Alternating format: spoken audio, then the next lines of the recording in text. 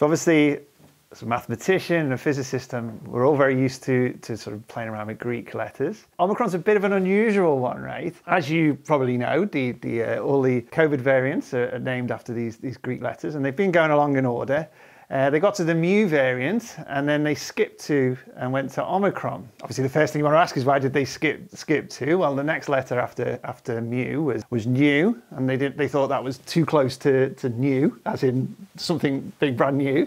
And one after that was xi, which was thought to be too close to the name of the Chinese president.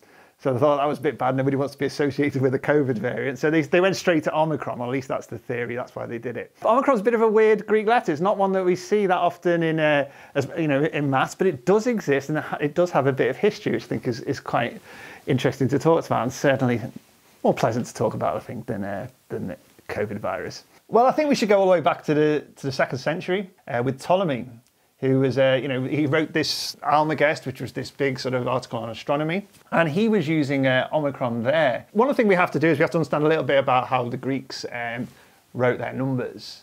And they had this kind of alphabetic system. So, for example, alpha represented one, beta represented two, gamma represented three, and so on.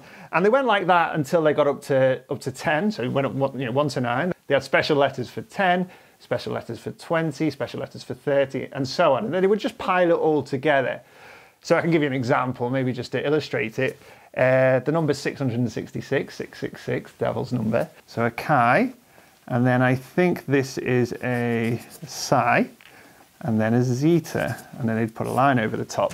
And what this means is, so this represents the number 6, this represents the number 60, and this represents 600. Okay, so 666, so you put it all together. Incidentally, Omicron does appear in this, okay? It appears as the number 70. Okay, so Omicron, which is just more like that. What does it look like? Well, it's like, it's like an O, basically. But it also had another interesting use, or people have theorized that it had another interesting use in Ptolemy's system.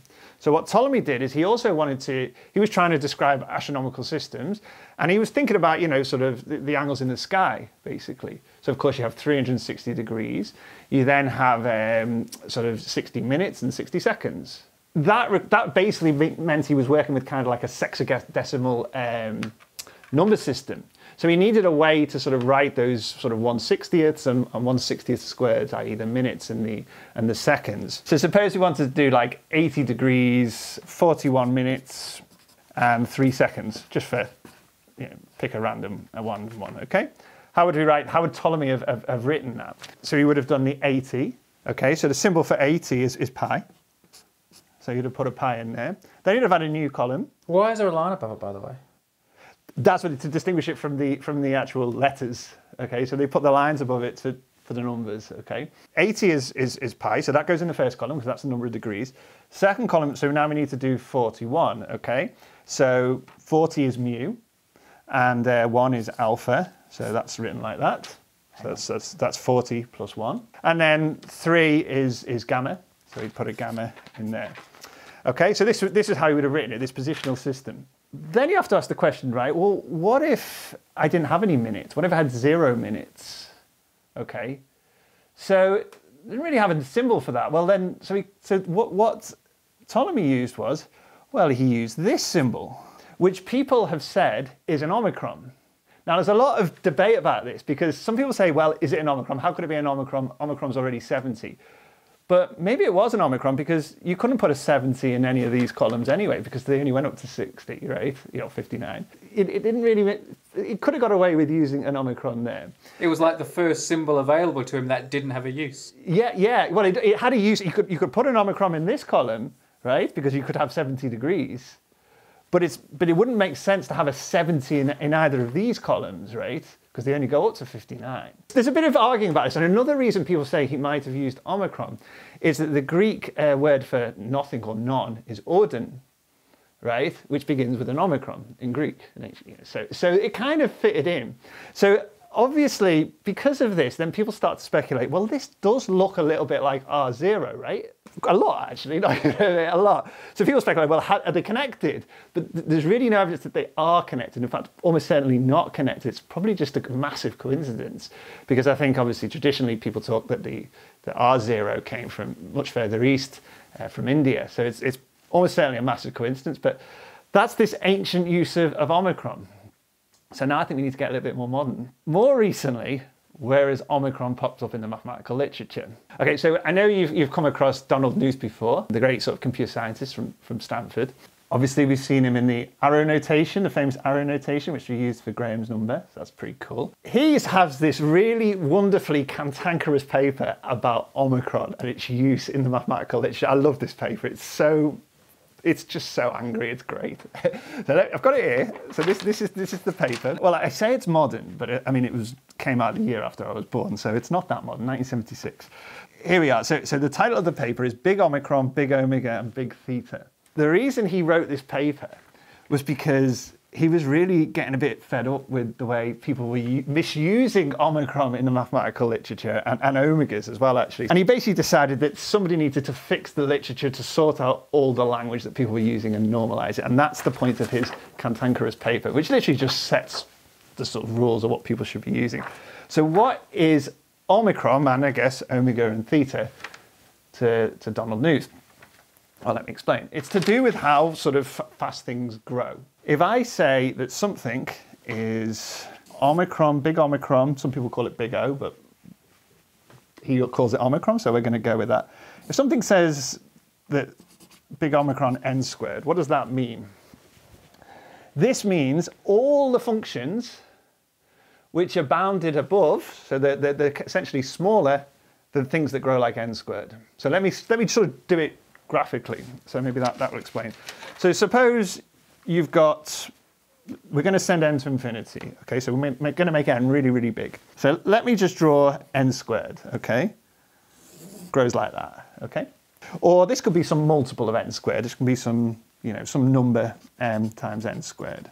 Now, all the functions that this means, what does this actually mean? It means all the functions which don't quite grow as big as that. They don't get, they don't get as big as quickly as that, so they might do this. So they might go above, in, you know, small values of m, but eventually, when you get big enough, they don't grow as fast. They always stay below some curve which is a multiple of n squared. So there's always a curve which is some multiple of n squared which they stay behind. And that's what this, this notation means. Okay. Now it's important notation for, for sort of uh, thinking about how sort of systems, you know, maybe if you've got an algorithm and you want to work out how, how sort of efficient it is, so maybe you've got to sort out n things and you want to know, well, how quickly does, how many steps do I need to use? Is it order n, is it this, is it this, this order n squared, or is it, is it some other, something else? It gives you a feel for that. So it's really important in that kind of thing. Um, so obviously you can put any function in here, right? Okay, so you could do order n cubed, uh, or the, you know, so, or any, any other function, like log n, anything, right? And you're just basically saying that, that, the, that the functions that you're talking about don't grow as fast as some multiple of that thing. What about the other things that he's talked about in the paper? Well, they're kind of quite simple. So he has, you can imagine something like omega of n squared. That's kind of the other way around. They're the things that go faster than it. Okay. The other side of the line. The other side of the line. So something like this. So this would basically say there was stuff which has also grown like, you know, some other n here.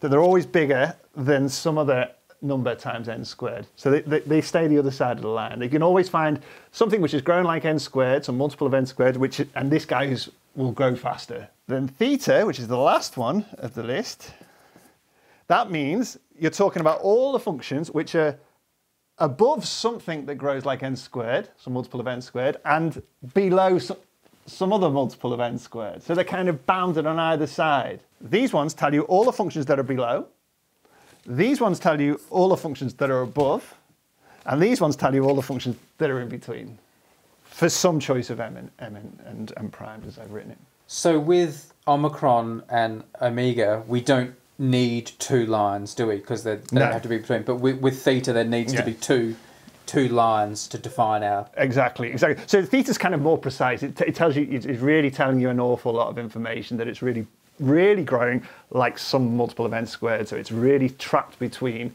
you know, that growth, two, two different growth rates which are very alike. Uh, whereas the other two sort of just give you an upper bound or a lower bound.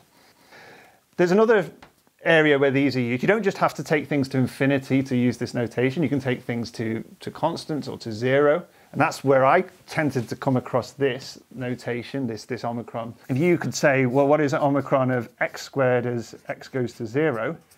This basically means all the functions which are smaller than x squared. Okay?